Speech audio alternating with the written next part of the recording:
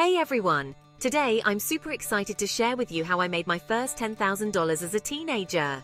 And trust me, if I can do it, so can you. So let's dive right in. First off, let me tell you, making money as a teenager isn't just about the cash. It's about building confidence, learning new skills, and stepping into the world of adulting, one baby step at a time. My journey started with something super simple tutoring.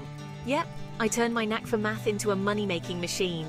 I started by helping out my younger cousins and then expanded to offering tutoring sessions for kids in my neighborhood. Word of advice? Don't underestimate the power of word of mouth. Do a good job and people will notice. Before I knew it, I was the go to math guru. Next up, crafting. I've always loved being creative, so I decided to monetize that passion. I started making handmade bracelets and selling them online.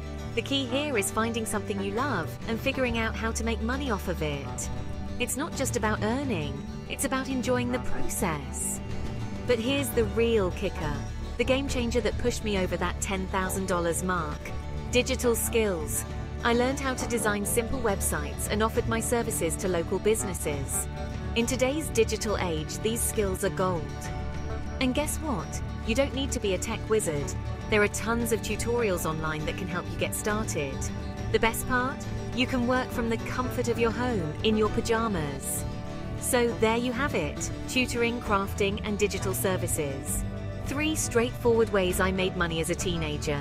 But remember, the most important thing is to start. Take that first step, no matter how small it seems. And always, always keep learning and adapting. The world is changing fast, and the more skills you have, the better you'll navigate through it. So, what are you waiting for? Go out there and make your mark. And maybe, just maybe, you'll be telling your own story of how you made your first $10,000 as a teenager. Thanks for watching. And don't forget to like, share, and subscribe for more tips on how you can make money as a teenager. See you next time.